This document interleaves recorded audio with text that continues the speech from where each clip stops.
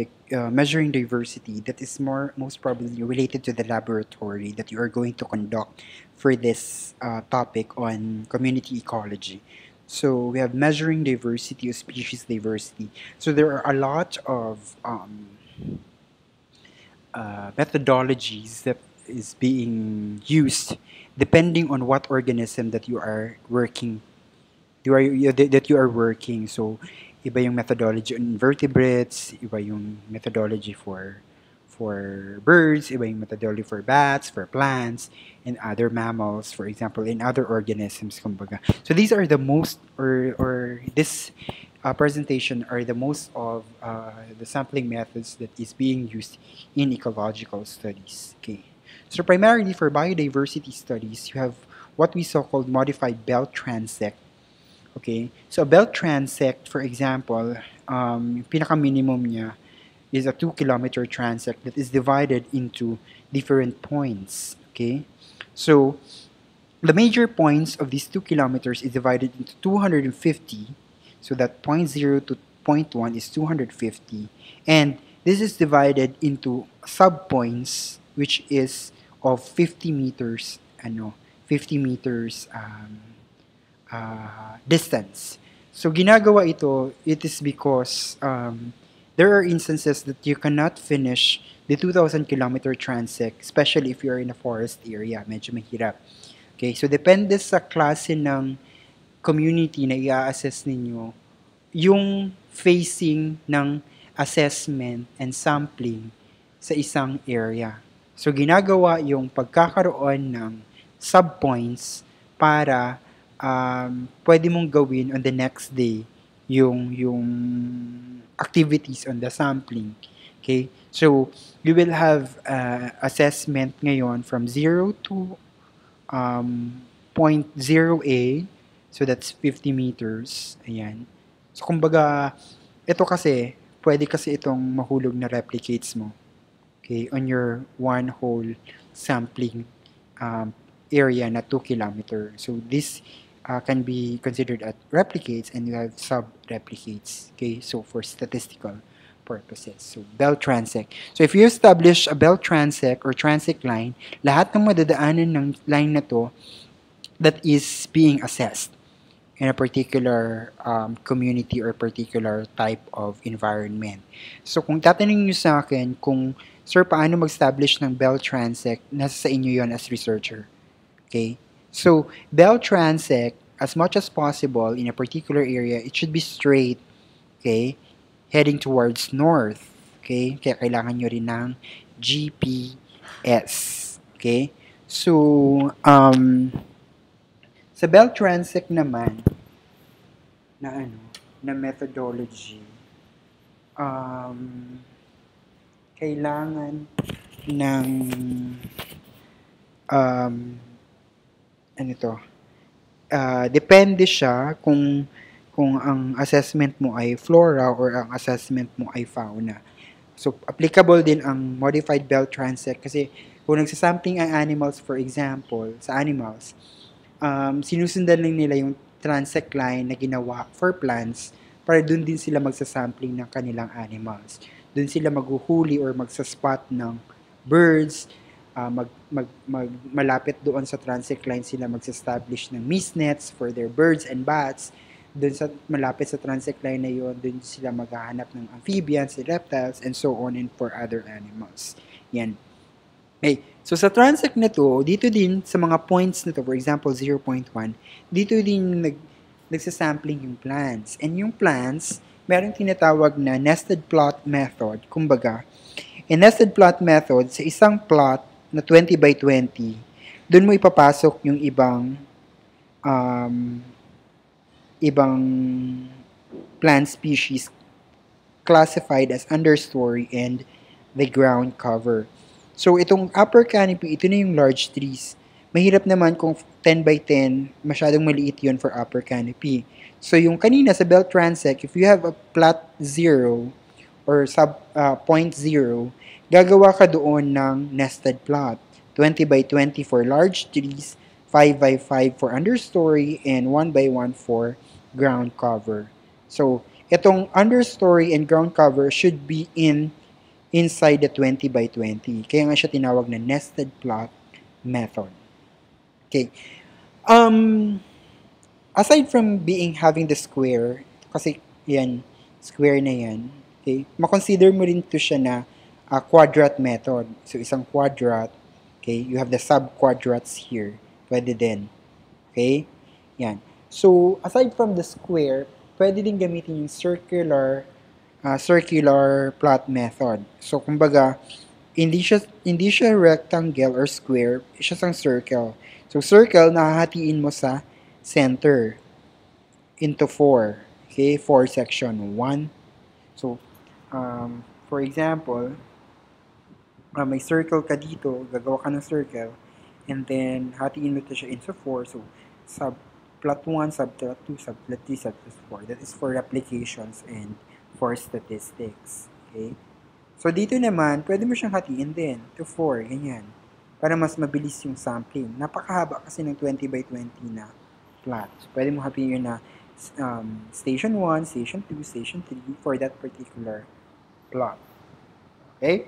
So, yung ginawa, ginawa nyo doon sa activity nyo on population dispersion, that is quadrat method.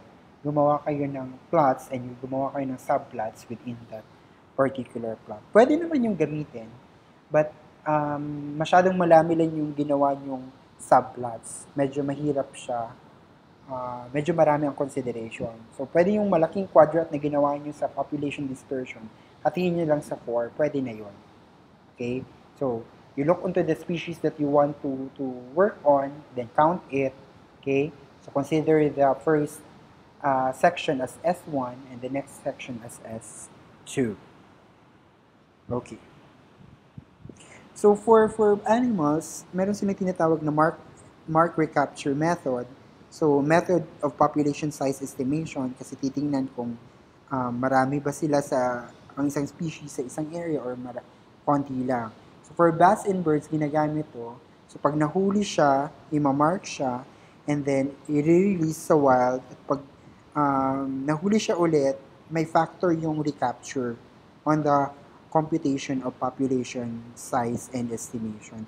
You will learn much more of, of mark and recapture method if you uh, have or kung meron man sa inyo mag-advanced ecology or, or magmi-major ng ecology, um, you will learn a lot more on mark and recapture method it is not applicable in large population kasi nga um, there are there are instances na um, hindi mo pwede, hindi mo na mare-recapture yon kasi napaka-large ng population. Okay? So this is very applicable to small population estimation. Okay.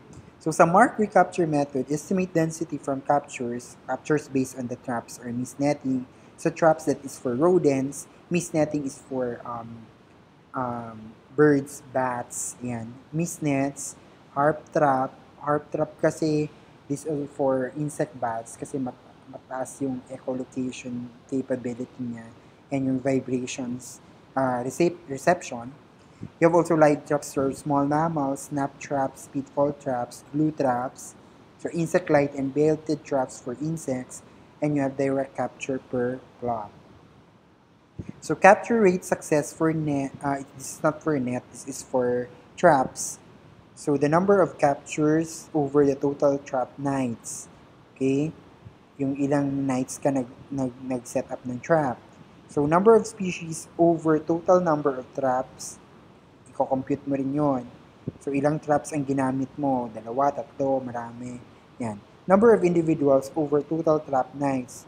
Yung number of nights na sinet up mo yung trap. So, one trap set per night is equal to one trap night. Okay? Yan. So, total deployed per night, cumulative siya. So, day 1, day 2, day 3. There are certain number of trap nights is required for biodiversity studies. Again, we will discuss that more on um, specialized ecology courses. So success reflects density of large taxa uh, dependent on deployment and bait. So depende siya kung anong bait ang ginamit mo, attractive ba siya doon sa rodent or hindi. So kung hindi, most likely you have a lower rate of trap success. Kung ang deployment mo naman, depende sa area na dinadaanan ng rodents. So you should be knowledgeable kung saan, most likely, madidetermine mo kung saan sila dumadaan. Okay, so hindi lang siya basta-basta nilalagay. So live traps versus snap traps. Sa snap traps kasi, pwedeng mamatay yung ano, and in biodiversity studies, we do not, ano, as much as possible, dapat walang mamamatay kasi we need to have to study them at the same time we need to release them after we uh, get the data from these animals okay so sa net naman number of net cap number of captures over net nights ilang nights yon number of species over total net nights number of individuals over net total net nights or net days for birds and one trap set per night so as much as possible dinadamihan siya So kung gusto niyo matapos lahat agad yung biodiversity studies, maraming nets ang in-establish. Yung ginawa niyo sa ecology, parang dalawa lang. Pero if you are going to, in zoology, should I say, dalawa lang. And we're going to have biodiversity studies, dapat marami. Okay, para madali kayong matapos. Kasi there is specific number of net nights required for, again, for biodiversity studies harp trap and tunnel traps. Ito yung harp traps. Okay? Mahirap establish to eh. This is good. But this is good for capturing insect bats. Kasi nylon yan eh. Medyo hindi, hindi yung vibration reception medyo may, or vi, yung sending of vibrations medyo mahina kung ito ang ano mo. So, most probably makakapture mo yung uh, insect bat. Bihira lang kasi nakakapture ang insect bat sa mist net. Okay? And you have mist netting for the birds. So, dependent on the net deployment skills, kung saan mo talaga in-establish yung net mo. Okay? So, yung mga gumagawa ng biodiversity studies assigned to birds, alam na nila, may idea sila kung saan nila um, in-establish yun. So, these are the assumptions for marked and recapture methods. The marked animals are not affected either in behavior or life expectancy and so on. So, most probably, hindi naman to masyadong ano. So, distance sampling methods. So, within the transect, so you can actually observe, for example, if uh, we're working on birds, so you can actually observe that using a binocular. And then, you can identify the species. Meron naman, uh, based on calls. Okay? So, they can identify the birds uh, based on calls. So, they can record that one. So, that is for species richness. Sa plants naman kami, distance sampling pa rin. Especially for large trees na hindi na kaya namin kumuha ng sample. Okay? So, pag ganon, automatically identify based on the structure of the leaves. Yan, ina-identify na namin. Pero for for medyo mababa or, or um, small trees, kumukuha naman kami ng samples. Okay. So these are the comparison of population um, magnitude based on the sampling area or the sampling methods that we are going to use and their implications. Ayan. So in measuring biological diversity, there are different levels. You have alpha, beta, and gamma. For alpha, these are the number of species. Okay? So species richness. For beta diversity, you tend to compute now the diversity of the organisms and you try to compare um, different plots, different transects, okay, and you are going to use statistical statistical ano, analysis. For gamma diversity, ito ay landscape. Okay? So, geographic scale species diversity according to Hunter. So, malaking geographical range na ang consideration ng gamma diversity. Or you have already the regional scale. So, these are some of um, indices used for alpha diversity, you have um, species diversity or the number of species, or species richness, should I say, or the number of species, species diversity, richness and relative abundance, evenness, so gaano sila ka-even in terms of the distribution in the Pacific area, dominance, what are the dominant species in the area, endemism, kung sila ba ay endemic or not in the area, and similarity of coefficient, if there are similar, uh, if you're trying to compute or try to compare communities, whether they have similar species or not, or they have similar composition or relative uh, or species diversity to another um, area. So that is similarity coefficient. So these are some of the basic um, uh, computations, okay, in in um, diversity studies. So you will be doing this one. This is included in your laboratory exercise that will be uploaded in Google Classroom. So this is already self-explanatory.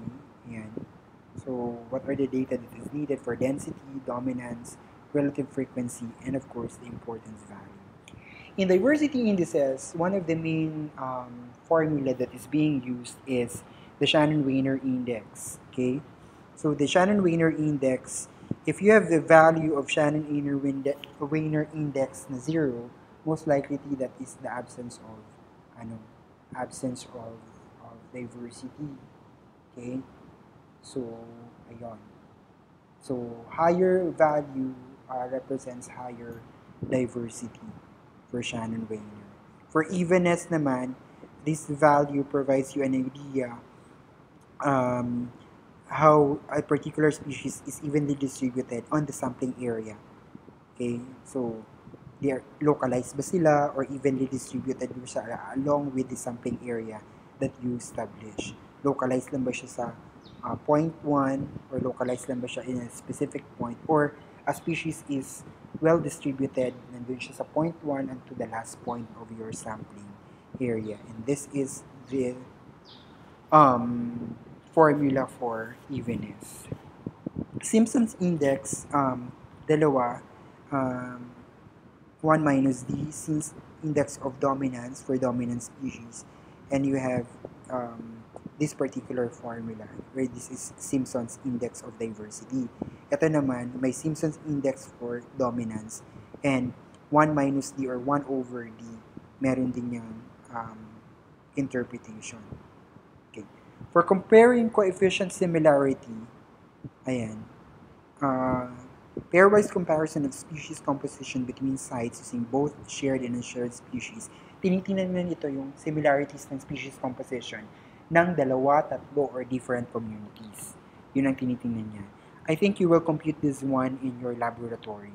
Kasi you will be having two different sampling areas or sampling sites. Iko-compare nyo ngayon kung magkapareho or hindi magkapareho based on the value of the computed coefficient similarity, which is of this particular formula. Other other way, other statistical um, software used to compare communities are you have the Sorensen and you have the Jacquard Similarity Index. Ang makikita nyo sa kanya ay clustering. Okay? Clustering ng mga sites na i-examine mo on your um, uh, sampling. Okay? So, site 1 ba ay similar in terms of species composition ng site 2 or site 3, makikita mo yun doon based kay Sorensen and kay Jacquard Similarity But in this laboratory, you are going to compute for coefficient of similarity. Species richness is what I have said, the number of species. Ang biodiversity studies ay, ay magsa-stop in a specific area pag na-reach niya ang tinatawag na um, yung plateau. So, ibig sabihin, in your assessment, one day to another day, yan, pag na-reach mo na yung plateau na yan, ibig sabihin, wala nang nadadagdag na number of species, pare-pareho na lang, So most likely that constitutes um, to, or that particular number of species constitutes to, yun lang makikita mismo sa isang community na um, uh, in-examine mo. So, species accumulation curve ang tawag. So, species effort curve. So, sa sampling mo sa first day, up to the second day, tumaas. But after second day, wala nang nadadagdag. So, stop mo na. Kasi yun na yung number of species na meron ang community na yun. Edge effect, ito yung sinasabi ko na uh, there are instances that the boundaries between two types of ecosystem, for, for example, you have terrestrial and aquatic, medyo maraming, ano, maraming species na nakatira dito. Yun yung edge effect. So, mix of tolerant and intolerant and non-forest colonizing species, agroforest and selective log forest and forest edges, maraming species doon. So high richness but species composition considers endemism. Okay? So, in terms of endemism, yan. So, endemism increases with increasing elevation. So, nandiyan yung tinatawag na altitudinal effects. Kung minsan, um, tinitingnan mo yung variations ng composition ng species based on altitude. So, you have, kung gagawa ka ng altitudinal studies or different uh, variations of species composition in different altitude, gagawa ka ng range ng altitude from 0, for example, 0 to to 100 MASL or meters above sea level. Anong composition? 100 to 200, anong composition? So what you will see is um, we will you'll try to check if there is difference in terms of species composition pag tumataas ka in terms of altitude. Okay? Or tumataas yung altitude mo. Okay? Tumataas ba yung diversity or number of species? Yung yung how to check altitudinal effects. Okay? The birds, small mammals, bats, fauna, annelids, crabs, and most likely ang indicator species. Ayan. Yan. So, change in species composition with transition around 1,000 MASL. So, yung sinabi ko kaninang 0 to 100, most likely napakaliit na difference na yon. So, most of the studies na kinakonduct, you have 1,000 MS, MASL na difference. So, 0 to 1,000, 1,000 to 2,000, titingnan nila yon. Okay, so, you have highland and lowland taxa. So, for endemism, at check mo naman ang endemism, if we're trying to check the species in IUCN or the International Union for Conservation of Nature, nandun yung endemism category niya. Okay? There are different levels of um, endemism. Local endemism, for example, that is uh, Mindanao endemic, Luzon endemic, or Visayas endemic. Uh, Philippine endemic, yan, or Southeast Asia endemic, mga ganun. So, there are different levels of endemism. And talking about endemism, ito yung dahilan kung bakit napataas ang diversity or endemic endemism rate sa Southeast Asia. It's because of um, the invisible lines that is somewhat um, used in order uh, to explain high diversity kasi daw nga na-isolate yung mga islands ng different countries in Southeast Asia because of this particular invisible barrier. So tinawag nila itong mga lines based on the person who discovers the line or the barrier. As you can see, or as you have discussed in your other subjects, that isolation mechanism creates or helps in the process of speciation. So, kailangan, dahil, uh, because of this uh, invisible barrier, nagkakaroon ng endemic species ang different islands na napapaloob sa mga lines na to. This particular um, um, invisible line is actually discussed in biogeography and evolutionary biology. Okay? So ito lang yung some of the reasons bakit mataas ang endemism rate and biodiversity ng mga islands in Southeast Asia.